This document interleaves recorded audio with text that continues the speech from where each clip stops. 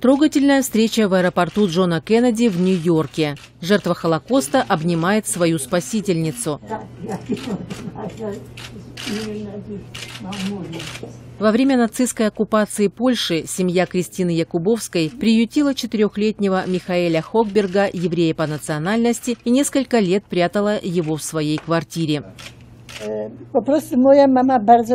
Моя мама знала родителей Михаэля, и она очень любила детей. Однажды их общий знакомый привел Михаэля в наш дом. Через несколько дней стало понятно, что этот человек не вернется. Мама, не задумываясь, решила, что мальчик останется в нашей семье. Она сказала моим сестрам и брату, как надо вести себя на улице, не разговаривать о Михаэле с соседями. Нам не позволялось приводить домой друзей. Для семьи Якубовских это был большой риск.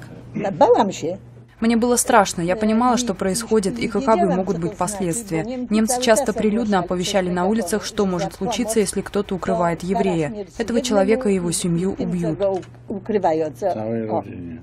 Несколько лет Михаэль почти не покидал пределов квартиры. Иногда выходил на улицу ночью, а еще сидел на балконе. Оттуда в апреле 1943 года он видел, как горит Варшавская гетто.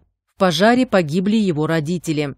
После восстания поляков в Варшаве родители Кристины тоже погибли. Девочка, будучи еще подростком, сама заботилась о приемном брате до самого окончания войны. Позже Михаэля отправили в еврейский приют для детей, а достигнув совершеннолетия, он эмигрировал в Израиль. У меня не было достаточно времени, чтобы попрощаться. Я успел только обнять всех, кто был в тот момент дома, и ушел. Это четвертая встреча Михаэля и Кристины за 70 лет.